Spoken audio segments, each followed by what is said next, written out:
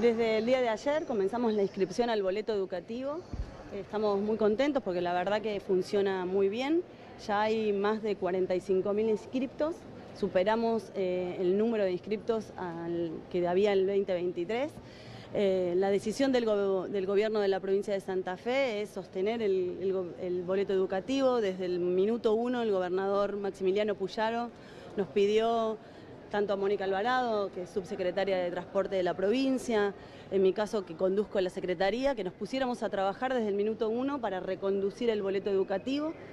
Eh, lo que hicimos fue hacer un, primero una auditoría, mejoramos eh, la, franquicia, vamos a empezar a, a utilizarlo a partir del primero de febrero. Esto es un reclamo que tenían los docentes, los alumnos, que pueden empezar a utilizarlo desde el primer momento que tengan exámenes y que va a culminar el último día lectivo. Los docentes van a poder y los asistentes escolares utilizar el beneficio hasta el último día que concurren a clases en diciembre. Eso es un beneficio que nosotros hemos implementado.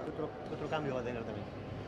Eh, es un cambio que para nosotros nos parece que es eh, importantísimo que apunte a, acompañar el fortalecimiento que nos ha pedido el gobernador eh, Maximiliano Puyaro de eh, estar eh, en constante acompañamiento a la educación. Nosotros desde el ámbito de la Secretaría de Transporte entendemos que la herramienta del boleto educativo es esto, es un pasaje a la educación, por eso nos pusimos a trabajar muy fuerte también con las empresas, esto también hay que decirlo, las empresas son las prestatarias del servicio, ahí el gobierno anterior tenía una deuda, se le venía liquidando el boleto educativo a las empresas con 60 días, eso hace también que en este contexto inflacionario tan difícil las empresas no logren un equilibrio y nosotras ahí desde el minuto uno lo que hicimos fue eh, lograr liquidar todos los expedientes pendientes, pagar los subsidios que estaban pisados, acomodar eh, tarifa y sincerarla y ahora podemos decir que estamos en condiciones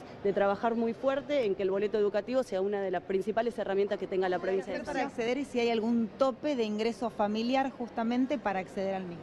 No, la inscripción es 100% online, eh, los estudiantes primarios, universitarios, secundarios, docentes y asistentes escolares son los beneficiarios del sistema, tienen que inscribirse en la página del gobierno de Santa Fe, eh, barra boleto educativo, en la APP que pueden bajar y ahí se inscriben, es muy sencillo, ya tenemos cerca de 45 mil inscriptos sin ningún tipo de problema. Tenemos igual... Em, dos, tres lugares de asistencia, perdón, y de orientación eh, en la provincia de Santa Fe, acá en la terminal de la ciudad de Rosario, en la terminal de la ciudad de Santa Fe y en la ciudad de Reconquista también en la terminal, un espacio de consulta en caso que tengan dudas y que quieran acceder a que algunos de los chicos que los van asesorando los acompañen en la inscripción. ¿Hay una fecha de cierre para la inscripción? No hay fecha de cierre. comenzó ayer, no, comenzó ayer y va a continuar todo el año.